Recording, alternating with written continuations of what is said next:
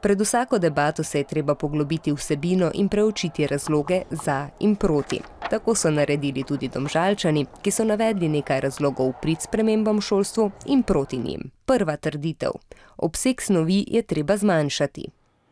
Osnovni cilj šole je, da nas naučijo neke osnove za nadaljno življenje, ampak dogaja se to, da mešamo pomembne podatke z nepomembnimi in se piflamo osnov.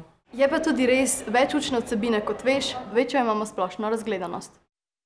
Preobsežne snovi je bilo v šestem razredu pri geografiji, kjer smo se učili neke nepotrebne podatke za življenje, ampak ne v vseh primerih, kjer se tudi naučimo nekaj pomembnega za življenje. Bila sem v stresu, pač, ko se preveč snovi nabere za določeno snov in se je težko pač vse naučiti na pamet.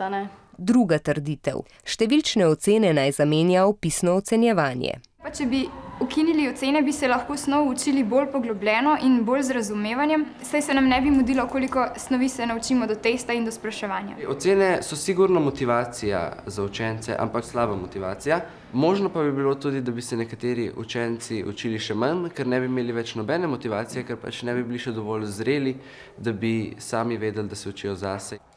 Zdi se mi pomembno, da se učimo zase in za svoje življenje, vendar se pogosto tudi sama učim zaradi ocen, zaradi tega, ker si želim upisati se na dobro srednjo šolo. Tudi spremni izpiti bi povzročali veliko stresa, ampak mislim, da je bil ta stres veliko manjši kot stres zadnja tri leta osnovne šole z nabiranjem ocen.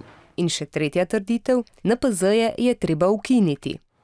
Za NPZ je država zapravi ogromne količine denarja, ki bi ga lahko porabili na različne boljše načine, in prav to je potem nesmiselno zaradi same nepomembnosti NPZ-jev na posameznikovo nadaljnje življenje.